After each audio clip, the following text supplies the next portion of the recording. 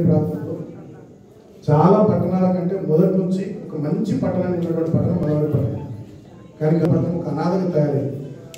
కాబట్టి ఇంత పెద్ద పట్టణం అరవై నాలుగు అరవై ఐదు వేల జనాభా ఉండేటటువంటి పట్టణం ఉండాల్సిన పద్ధతులు లేదు అని చెప్పి భావించే ఇవాళ తెలంగాణ రాష్ట్ర ప్రభుత్వం గౌరవ ముఖ్యమంత్రి గారి నేతృత్వంలో పెద్ద ఎత్తున ఈ పట్టణానికి నేను శాసనసభ్యుడిగా వచ్చిన తర్వాత ముఖ్యమంత్రి గారి దృష్టికి కానీ మున్సిపల్ శాఖ మంత్రి కేటీఆర్ గారి దృష్టికి కానీ చాలా అంశాలు తీసుకెళ్తే ఇవాళ దగ్గర దగ్గర మా దగ్గర లెక్కలు ఉన్నాయి.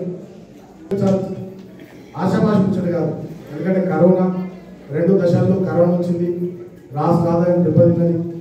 అయినప్పటికీ కూడా మదవరి లాంటి మున్సిపాలిటీ మున్సిపాలిటీలో వెనుకబడేటువంటి ఈ పట్టణంలో పలు అభివృద్ధి కార్యక్రమాలు జరగాలి మంచి కార్యక్రమాలు కొనసాగాలనేటటువంటి ఆలోచనతో ముఖ్యమంత్రి గారి దృష్టికి కానీ మంత్రి కేటీఆర్ గారి దృష్టికి కానీ ఎప్పటికప్పుడు విషయాలు తీసుకుపోయి ఒక నూట యాభై కోట్ల రూపాయలు మనం ఇక్కడ తేవడం జరిగింది. మనవరి పట్టణ ముఖ చిత్రాన్ని మార్చినటువంటి కార్యక్రమం. ఒక మూడు కోట్ల ముప్పై లక్షల రూపాయలతోని మనము సెంట్రల్ లైటింగ్ పనిని ప్రారంభించుకుంటా ఉన్నాం. ఇప్పుడు ఉన్నటువంటి మనం సిఆర్ క్లబ్ నుంచి మొదలుకొని ఎస్వి టెంపుల్ దాకా మూడు కోట్ల ముప్పై లక్షల రూపాయలతోని ఫేజ్ వన్లో సెంట్రల్ లైటింగ్ పని మనం స్టార్ట్ చేసుకుంటా ఉన్నాం. దాని తదనంతరం ఫేజ్ టూలో పట్టణ ప్రగతి నిధుల నుంచి ఎస్వి టెంపుల్ నుంచి పాలచిప్ వరకు ఒక కోటి డెబ్బై రెండు లక్షల రూపాయలతో ఆ సెంట్రల్ లైటింగ్ పని కూడా ఫేజ్ టూలో ప్రారంభించుకుంటాం. అదేవిధంగా ఫేజ్ టూలో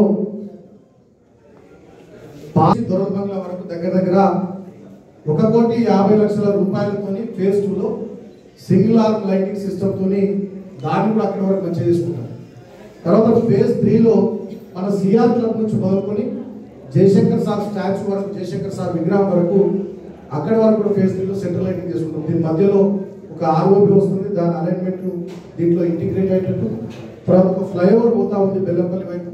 కాబట్టి ఆ ఫ్లైఓవర్ ఎట్లా పోతుందో ఏదో చూసుకొని అక్కడ ఉండేటటువంటి జయశంకర్ స్టాచ్యూ ఆ జంక్షన్ కూడా జాగ్రత్తగా అభివృద్ధి చేస్తూ అక్కడి నుంచి మొదలుకొని దొరబంగ్లా వరకు ఒక బ్రహ్మాండమైనటువంటి stretch phase one phase two phase three రూపంలో మూడు దశల్లో మందమరి పట్టణంలో ఉన్నటువంటి ముఖ్యమైనటువంటి రహదారిని మెయిన్ రోడ్ను అభివృద్ధి చేసే ఒక మంచి కార్యక్రమానికి ఇవాళ కొబ్బరికాయ కొట్టినాం.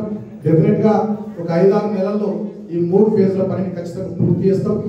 జూన్ రెండో తారీఖు తర్వాత మందమరి పట్టణ ప్రజలే కాదు చుట్టుపక్కల గ్రామాల ప్రజలు అందరూ ఈ ప్రాంతానికి సంబంధించినటువంటి వాళ్ళు ఒక నూతన మందమరిని ఈ సందర్భంగా ఖచ్చితంగా చూస్తారని చెప్పి నేను గర్వంగా తెలియజేస్తూ ఉన్నాను.